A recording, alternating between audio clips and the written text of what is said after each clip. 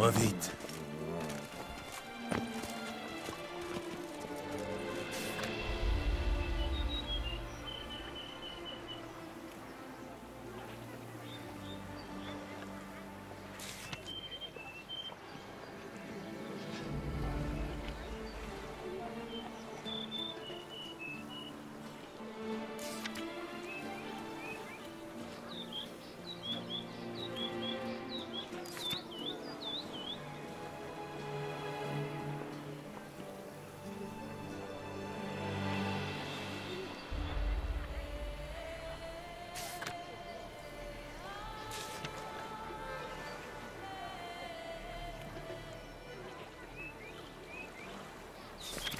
Trésorier du Cal cherche de l'aide.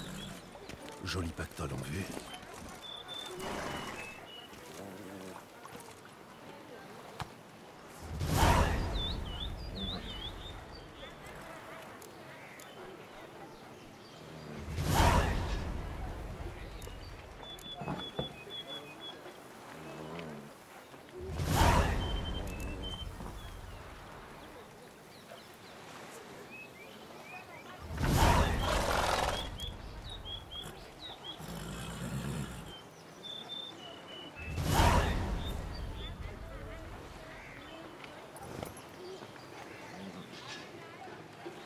Du nerf, Ablette.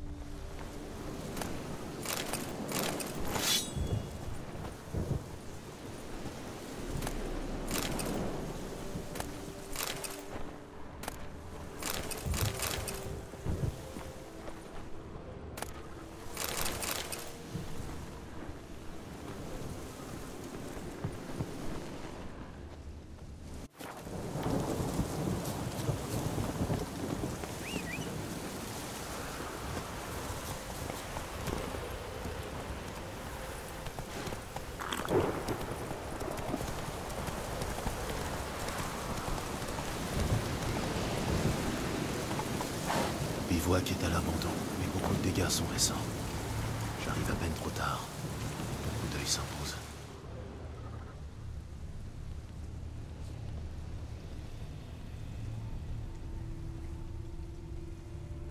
Un homme saigné à mort. Un gros monstre a dû infliger ses blessures. La griffure l'atteste. Il doit sourire à pleines dents si on voit l'état de la gorge. Des traces de combat, de monstres, c'est très net. Mais seulement ici. Sûrement une attaque aérienne. Sûrement un draconide. Peut-être un basilic. Sauf que les traces n'appartiennent à aucune espèce connue. Diffèrent légèrement.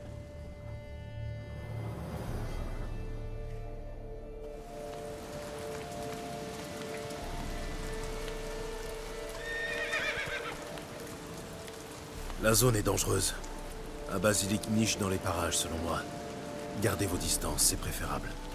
Oui, oui, mon cher, je suis au courant. Je puis vous confirmer qu'un basilic niche bien ici. Je m'occupe de lui, voyez-vous Vous vous occupez de lui Ce n'est pas un chat. Ce monstre tue tous ceux qui passent à sa portée. Je vous en prie. L'animal ne fait aucun mal à ceux qui respectent son territoire. Les mises en garde sont de vous En effet, afin d'éviter à quiconque d'être blessé. Eh bien, visiblement, ça n'a pas suffi. J'ai trouvé un corps fraîchement déchiqueté. C'est sûrement un marchand. Pauvre pauvre. Ce matin même, j'ai appris que deux négociants ont fait fi des panneaux. J'ai accouru aussi vite que possible. Trop tard, hélas. J'ai passé consigne à mes serviteurs. Ils vont venir chercher le corps et le porter à la famille avec une coquette somme. Qui êtes-vous au juste? D'où vous vient cet intérêt pour le monstre? Comte Boris, à votre service. Quant à la bête, ma foi, cette sous-espèce est notre blason familial. Le Regulus Platinum sert de paraphe au dit Alvarez depuis des siècles. La tradition familiale affirme qu'une femelle de l'espèce aurait tiré un ancêtre tout jeune alors d'un édifice en flammes. Le bambin s'est retrouvé dans son nid et elle l'a nourri comme s'il était son propre rejeton. Foutaise. Bien sûr, mais quelle jolie foutaise. Selon vous, ce serait le dernier survivant des basiliques. Qu'est-ce qui vous fait dire ça? Le dernier de cette sous-espèce. Leur population était nombreuse autrefois, avant que la forêt de hêtres soit abattue. Vous établissez une corrélation directe entre la présence de hêtres et la population de basiliques? Je préférerais dire indirecte. La hêtraie est l'habitat de prédilection du chevreuil, voyez-vous Et celui-ci est le mets favori du basilic. Le chevreuil étant devenu rare, les basiliques se sont rabattus sur l'être humain. Et les sorceleurs sont arrivés. Nous voici donc avec le dernier spécimen vivant. C'est une femelle. L'an dernier encore, il en restait deux. Hélas, Jocaste a perdu son cher et tendre. Jocaste. Pourquoi ne point la nommer? Père l'avait baptisée ainsi en l'honneur de ma regrettée mère. Jocaste couvait l'an dernier. Deux œufs. Malheureusement, elle les a jetés du nid à la mort du mâle.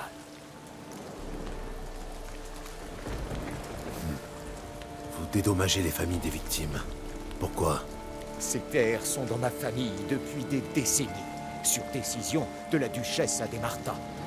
Le basilic n'en sort jamais, que ce soit pour chasser, tuer ou détruire. Du moins, tant qu'on ne le provoque point. Quand il arrive qu'il détruise ou tue, je me fais fort de rembourser. Et sur mes deniers. Vos deniers. Vous pensez pouvoir acheter les fils, les maris taillés en pièces par ce monstre? Je ne puis faire revivre les morts, c'est entendu. Mais ma générosité va à leur famille.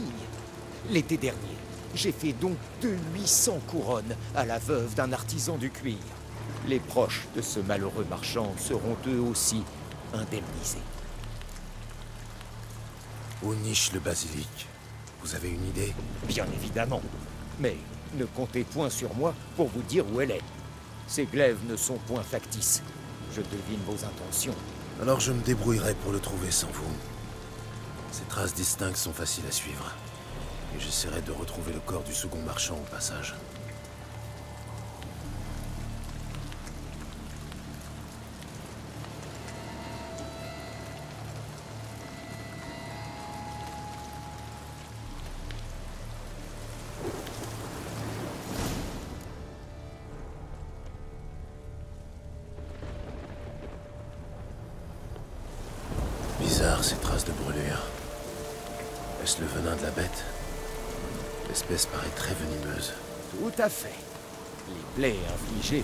Basilic d'argent suppurent longtemps.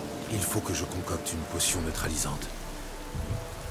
En général, les écailles de basilic sont épaisses. Celles-ci sont très fines. Elles doivent mal résister au feu. C'est hélas vrai. Jocaste a terriblement peur du feu. C'est une créature très sensible. ne songez point à la battre. Vous extermineriez le dernier spécimen de l'espèce.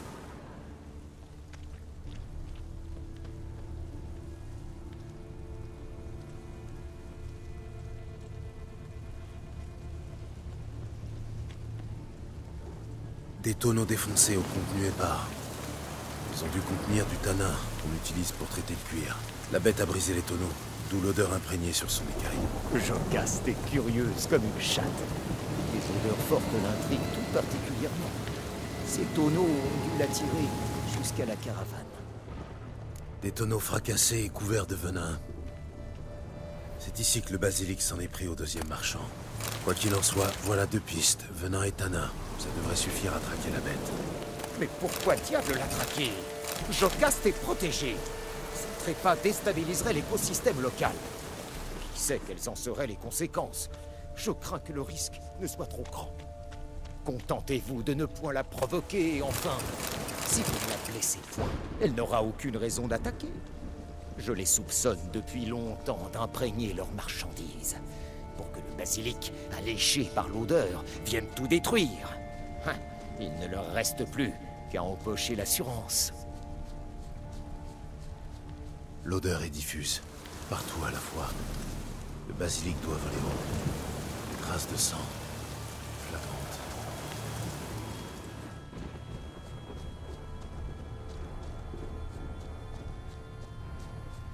L'odeur est de nouveau perceptible.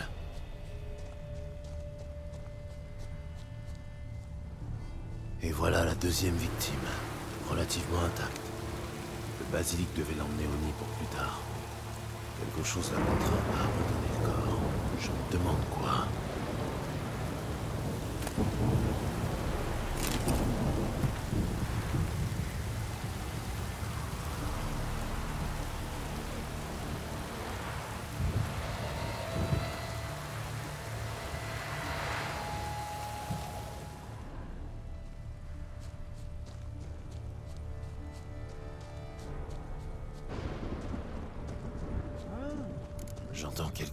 Mais ce n'est pas un basilic. Des voix humaines.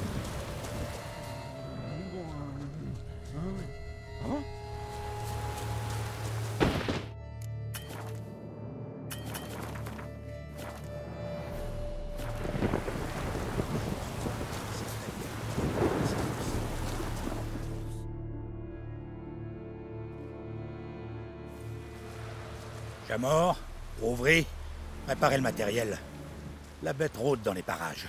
Il faut trouver un moyen de la tirer par ici. Et là, t'es qui, toi? C'est amusant, j'allais poser la même question. Nous, on est les chasseurs de dragons.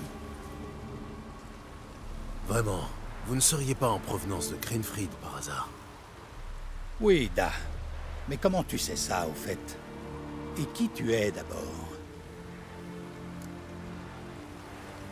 Gérald de Rive, sorceleur. Je connais vos frères d'armes. Boholt, Kenneth et Desbrut. Et le bleu. Ah, ce sorceleur-là Ouais, Bolt a parlé de toi. Fine lame, il a dit. Un professionnel Excellente nouvelle. Unissons nos forces. Paraît que le venin du monstre est dans le genre atroce. Deux bras capables, ce serait pas trop. La prime de la guilde, on pourrait faire à part égale, ça te va? Messieurs, voilà des propos qui me font grand-peine. Tuer Jocaste Oh, que nenni La créature est protégée Si c'est la prime de la guilde qui vous pose un problème, je vous paierai. Le double de la somme si vous laissez la bête vivre. Vous n'allez tout de même point toxir le dernier spécimen vivant d'une sous-espèce. Vous êtes prêt à casquer pour qu'on se tourne les pouces Pas courant comme affaire. Tandis quoi l'étranger Paraît que la bête a déjà cinq victimes au compteur.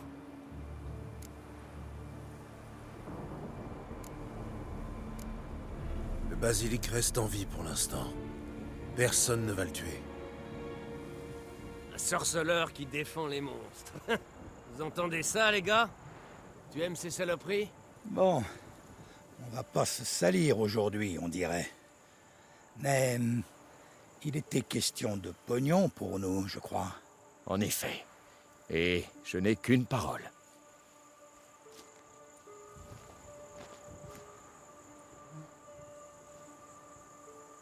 Ta part, sorceleur.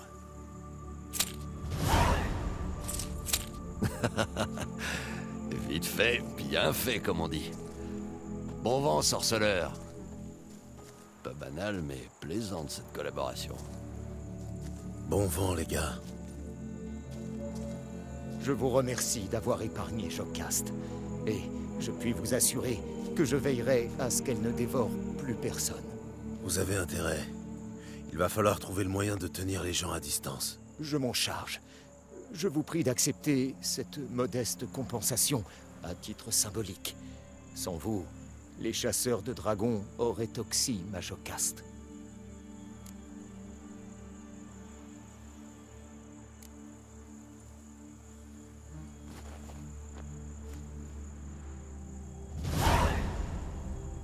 Merci. Jocaste a quitté son nid. Elle a dû sentir une menace. Elle finira par revenir. Oh, elle revient toujours. Je crois même savoir où elle est allée. Pour l'avoir suivie un brin, je la soupçonne d'avoir trouvé un mâle. Un basilic ordinaire, pas argenté. Mais qui sait ce qui en ressortira? Jocaste pourrait se remettre à pondre et produire un croisement inédit, peut-être. Espérons que non. Bon vent à vous.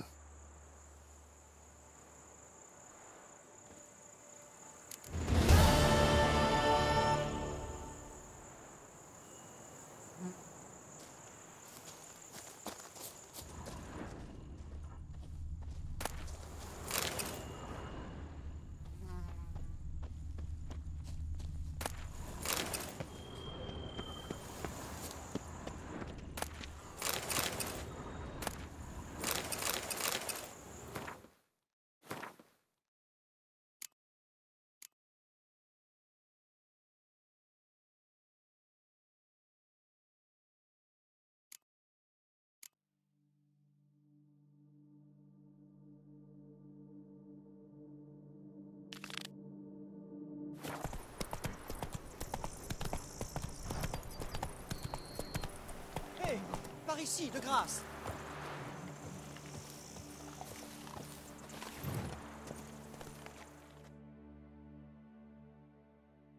J'ai entendu appeler. Il y a un problème? Et comment?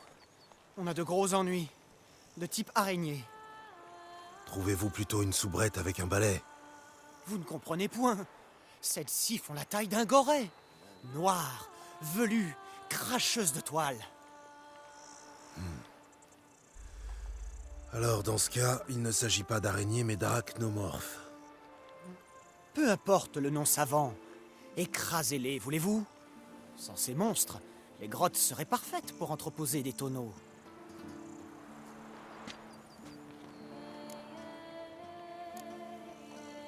Commençons déjà par parler de ma prime.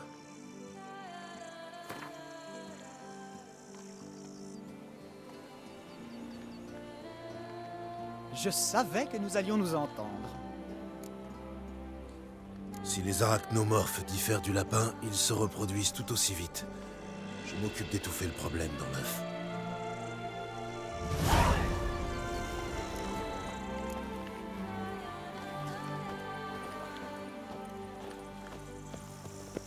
une montagne d'une opinion. Tout va très bien se passer. Je me dois d'insister. Vous serez bien plus en sécurité avec nous à vos côtés. Sortez. Monsieur le comte, je crois que Vilmar a raison. On ignore ce qui vaut.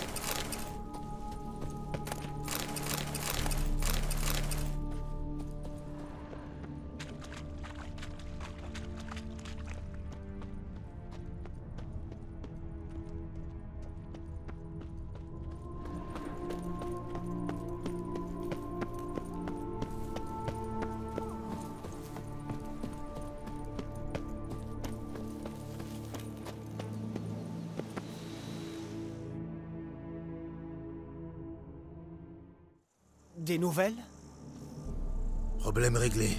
J'ai fait le ménage à l'intérieur. Les dieux soient loués. Et vous aussi, bien sûr.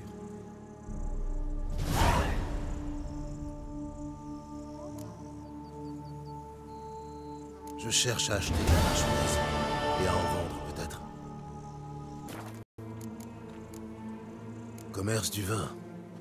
Vous l'exercez depuis longtemps? Pas tellement, pour être franc.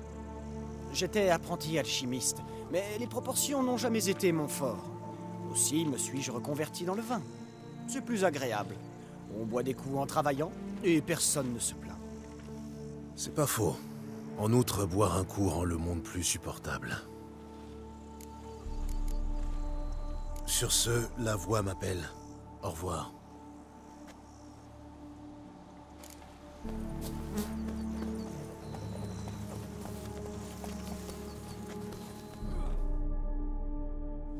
Votre sollicitude me touche, mais j'attends ce jour depuis longtemps.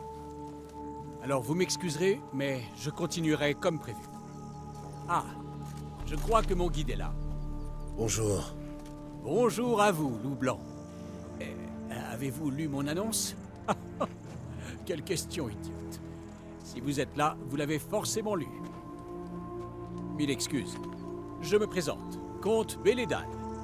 Je suis un de vos admirateurs. Merci. Je reçois rarement ce genre de compliments. Monsieur le comte, vous ne pouvez pas partir seulement avec ce sorceleur.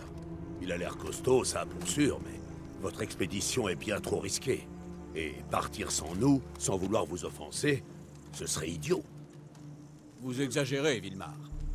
Je pense pouvoir survivre une demi-journée sans qu'on ait besoin de me torcher le fondement.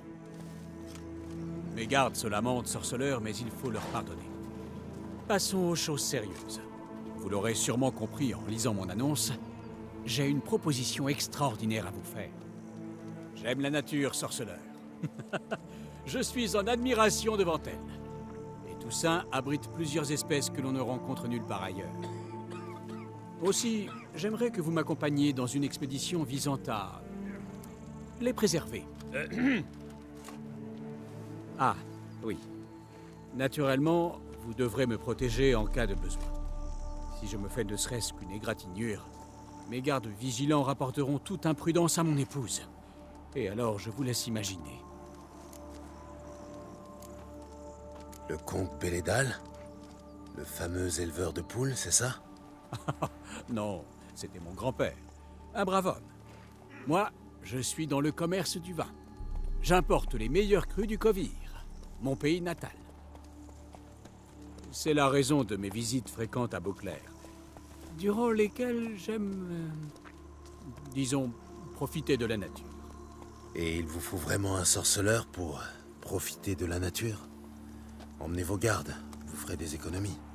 Je pourrais, mais ils ont besoin de repos et de détente. Pas vrai, messieurs? Et puis, j'ai tant d'argent qu'il faut bien en dépenser un peu. Qui va m'en empêcher? Ah, je vois. Un riche qui s'ennuie à mourir et cherche les frissons. Il y a aussi Clarissa qui... Vilmar, il suffit. Qui est-ce? Ah. C'est ma fille. Je lui rapporte toujours un souvenir ou un petit quelque chose de mes voyages. Elle les attend avec impatience. Mais assez parlé de ma famille, mon ami. Si nous discutions plutôt de notre aventure. J'ai besoin de détails avant de donner une réponse. Où allons-nous et que devrais-je faire au juste? Pour faire simple, nous allons admirer la faune et la flore locale. Et ce faisant, je préserverai une ou deux choses. Comment ça? Avec euh, cet appareil. Un, un parestisomaque. Comment dire euh, Il capture les images. Un Paris c'est quoi? C'est une sorte de mégascope portable. Il capture des instants en créant des illusions dont je m'inspire pour peindre. Donc, je vous escorterai pour euh, regarder des fleurs et des animaux. Ça se résumera plus ou moins à ça, oui. Sauf que vous devrez d'abord traquer les créatures que je veux capturer. Je n'ai qu'une vague idée de l'endroit où elles vivent. Et puis, en cas de problème, pourrez compter sur votre épée. Alors, qu'en dites-vous? C'est plutôt inhabituel comme contrat. Oui, j'en conviens tout à fait. Et je suis prêt à vous rémunérer très généreusement. Tant mieux. Cela ne vous dérange pas qu'on parle du montant exact avant de se lancer? Absolument pas. Vous n'avez qu'à me dire combien vous désirez.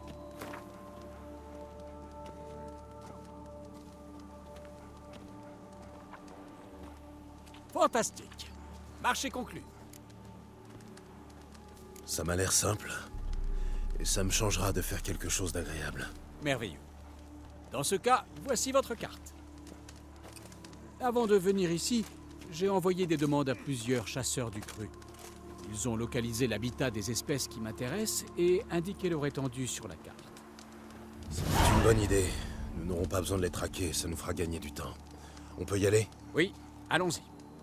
La lumière me semble parfaite.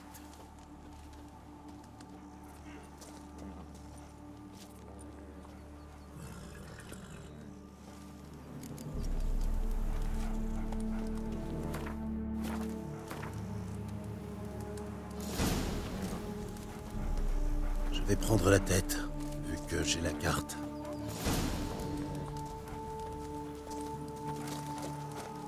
Vous ne préféreriez pas être accompagné de vos gardes? Vous plaisantez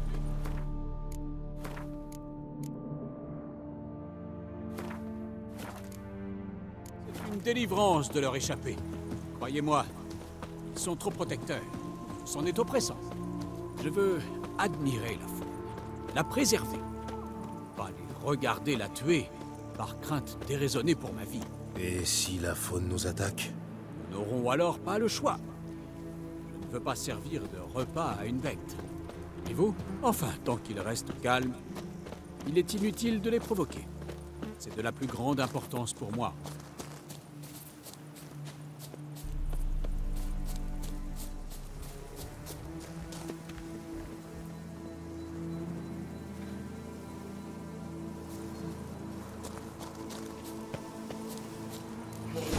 D'après la carte, il devrait y avoir des panthères. J'ai entendu du bruit. Ne vous éloignez pas. Des sortes Et de ouvrez l'œil. Je ne demande qu'une chose. C'est peut-être un ours. Ne faites pas couler de sang.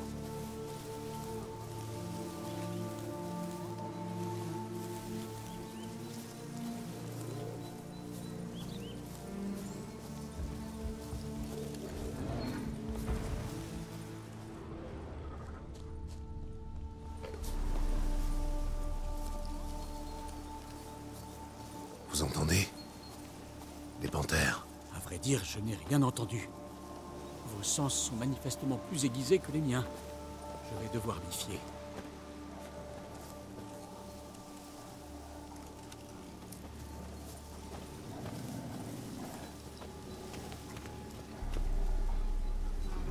Quelle belle journée pour capturer des instants.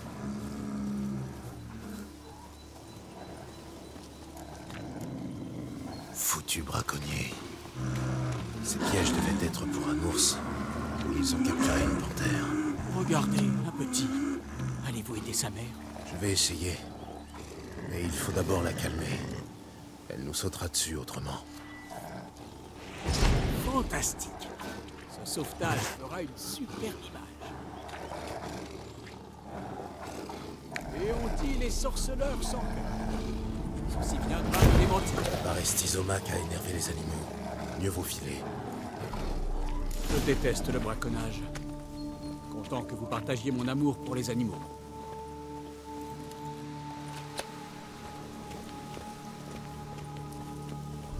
Vous avez des intérêts très variés pour un homme de la ville. Il est vrai que j'apprécie différentes choses. Le vin, la nature, la peinture. La vie d'un sorceleur doit être bien plus monotone. Sans vouloir vous offenser. En effet, mais on ne s'ennuie jamais.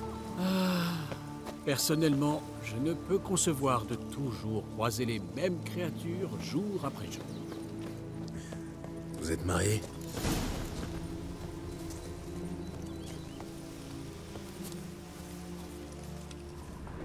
Chut. Vous entendez? Ce sont ces... Oui, ce sont des scolopendromorphes. Elles fouissent la terre. C'est un son caractéristique. Ça va permettre de les suivre.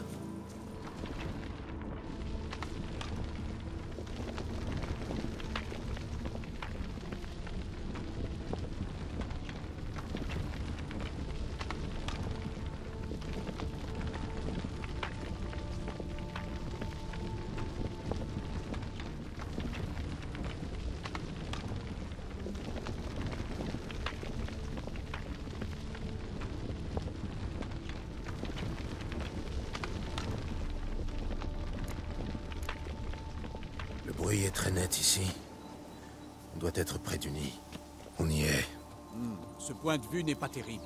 Je ne capturerai pas de bonne image d'ici. Bien. Attendez, on va vous trouver une meilleure cachette. Avancez doucement. Les scolopendromorphes détectent les plus infimes vibrations.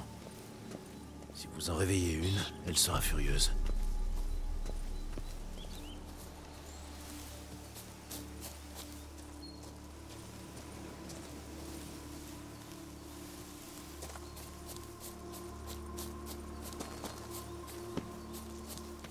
Quelle belle journée pour capturer des instants.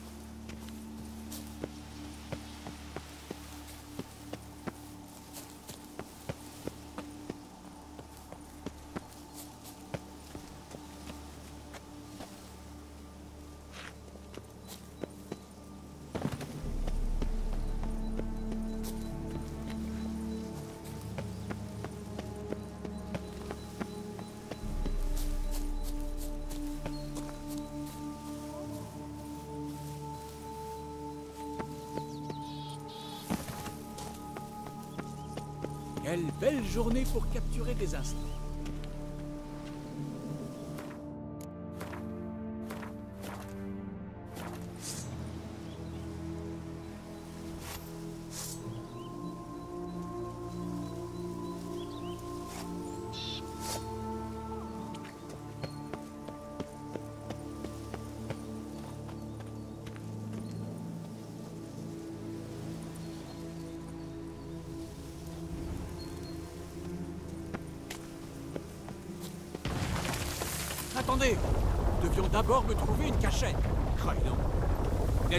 Mafia.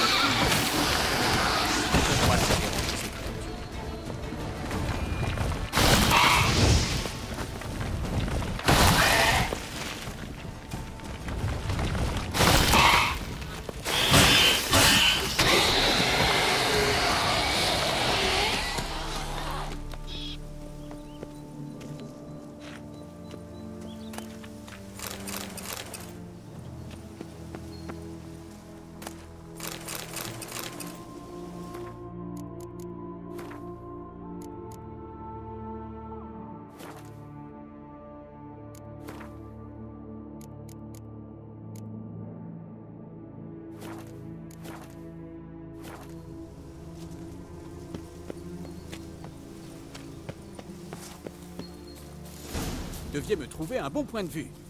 Au lieu de ça, vous avez foncé dans le rentre. Désolé, je me suis laissé emporter.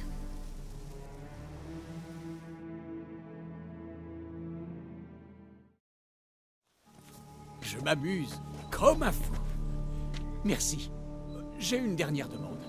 Les pans exécutant leur parade nuptiale. J'adorerais voir ça.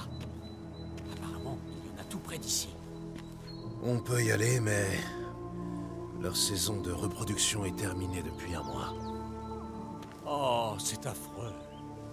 Je voulais tellement les capturer en train de faire la roue. Ne, ne pouvez-vous rien faire pour les motiver? Vous pourriez les défier ou trouver un moyen de les provoquer. Qu'avez-vous en tête? Je n'ai pas de queue, du moins pas de ce type. Et il ne m'en poussera pas une de sitôt. Je pensais plus à la magie des sorceleurs. On dit que vous pouvez influencer les créatures inférieures. Oui, oui, je peux toujours essayer. Mais je ne vous promets rien. Merveilleux. J'en suis ravi. Je ne peux pas vous indiquer l'endroit exact, mais un chasseur m'a parlé de plusieurs coins. Je vais vous les indiquer. Bien, Essayons de trouver ces pans.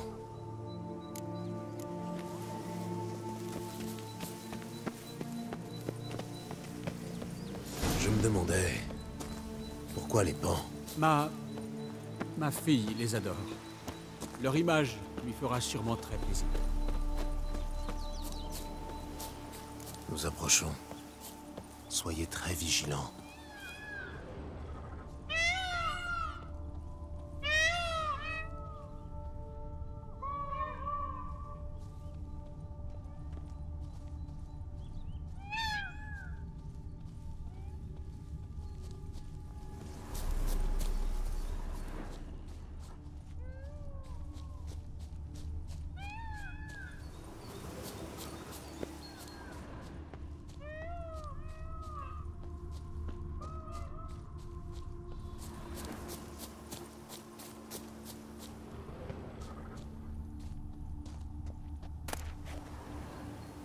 Une plume de queue, couverte de graisse.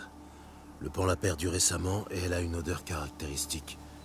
Je devrais pouvoir retrouver la volée. Un sorceleur en pleine action. Quel spectacle.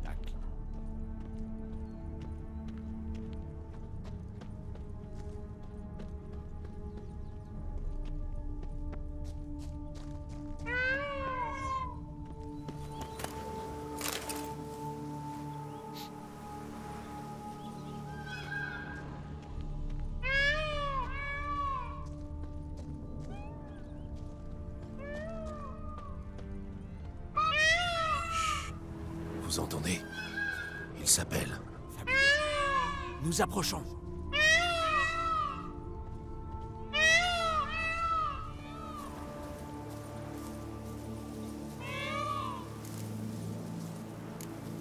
Ah, chat Pourvu qu'ils déploient leur queue à présent. Je vais voir ce que je peux faire. Trouver un bon endroit.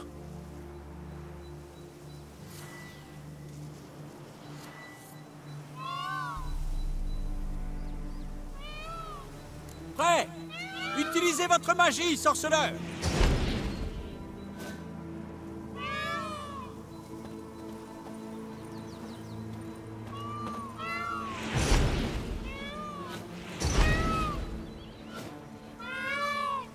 Oh, Ce sera un chef-d'œuvre.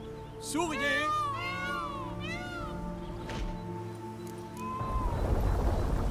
Attention Des vous les avez déjà tués Pas toutes, on dirait. Reculez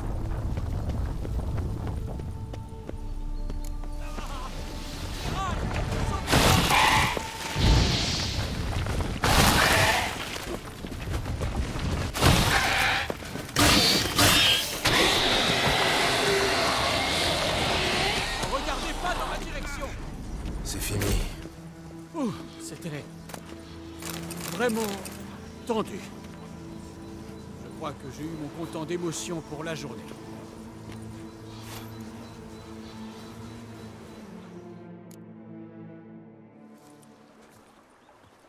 Quelle merveilleuse aventure Vous avez tout ce que vous vouliez Oui, Dans ce cas, rentrons à votre camp.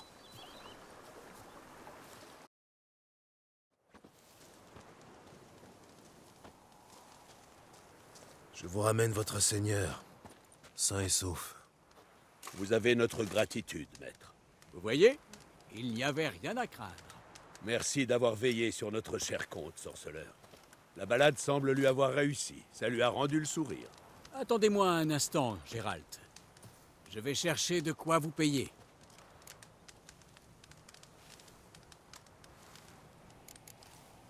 Comment ça? Il n'avait pas le moral? Il ne vous a rien dit, c'est ça? Il y a environ dix ans, sa fille Clarissa a fait une chute de cheval. Elle est clouée au lit depuis. Elle ne peut plus marcher seule. C'est elle qui égayait la maison avant le drame. C'était un vrai rayon de soleil. Le comte l'emmenait souvent en voyage. Elle aussi adorait les animaux. Aujourd'hui, les excursions de son père, ou plutôt les tableaux qu'il rapporte, sont sa seule fenêtre sur le monde. Désolé de vous avoir fait attendre. Votre comportement a parfois été un peu déroutant, mais cette journée reste un succès. Hum. Apparemment, les sorceleurs aussi ont le sens de l'humour. Il leur arrive d'avoir des coups de folie, c'est bon à savoir. Oui, je suis plutôt fantasque comme type. Votre récompense. Faites-en bon usage. Merci. Je voulais aborder un autre sujet. Je dois bientôt présenter mon travail à mes amis, mon cercle, en quelque sorte. Accepteriez-vous de venir? Pourquoi pas, si je suis dans le coin? Merveilleux. Dans ce cas, nous nous verrons à mon logement. Je suis hébergé par un ami pendant mon séjour à Toussaint, dans un village voisin, Francolais. Je passerai. Au revoir.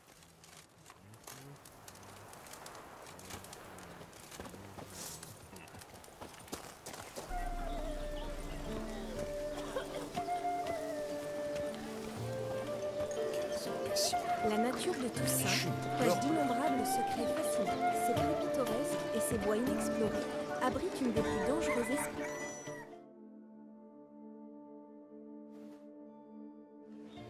Les scolopendres mâles et femelles de Beauclair sont de redoutables prédateurs. Ces créatures préfèrent chasser en groupe, mais l'auteur de cette œuvre remarquable a pu capturer un spécimen seul, prêt à attaquer. Observez de plus près le chasseur, qui, bien conscient du danger, affiche pourtant un regard déterminé en attendant le moment parfait pour frapper. Ah, Gérald, vous voilà. Merveilleux. Approchez. Je suis ravi de vous voir. J'ai un petit cadeau pour vous, et je vous interdis de le refuser. Libre à vous de le vendre, bien sûr, même si je serais honoré qu'il décore votre demeure. Merci.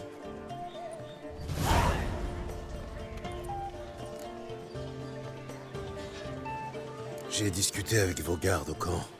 Ils m'ont parlé de Clarissa. C'est triste cet accident. Merci. Votre gentillesse me touche sincèrement. Et comment va Clarissa ces temps-ci? Elle a sûrement hâte de vous revoir. Pour recevoir ces cadeaux, ça oui. J'en ai déjà envoyé deux. Elle n'aura pas besoin d'attendre mon retour. En rentrant, je compte passer par Dol Blatana. On raconte qu'on peut y voir des Sylvains. Oui, j'en connais justement un. Il s'appelle Torque. Il se montre parfois hostile, mais il fera ce que vous voulez si vous imitez le prix. Fantastique. Merci pour le conseil. Vous le saluerez de ma part. Quelle foule Vous en avez des amis.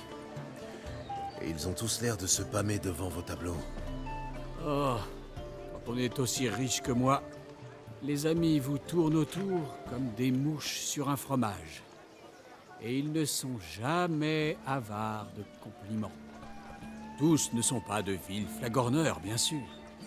Mais ils le sont pour la plupart, hélas. À quoi bon les inviter, dans ce cas? Je suis un entrepreneur. Je dois faire passer mes affaires avant mes sentiments personnels. Et puis, Et puis Parfois, je présente une véritable croûte, histoire de voir à quelle contorsion ils vont se livrer pour trouver les superlatifs appropriés à mes affreux barbouillis. Naturellement, plus une personne a envie d'entrer dans mes bonnes grâces, plus elle vante mon chef-d'œuvre. C'est tordant, je vous le dis. Ce fut un plaisir. Au revoir.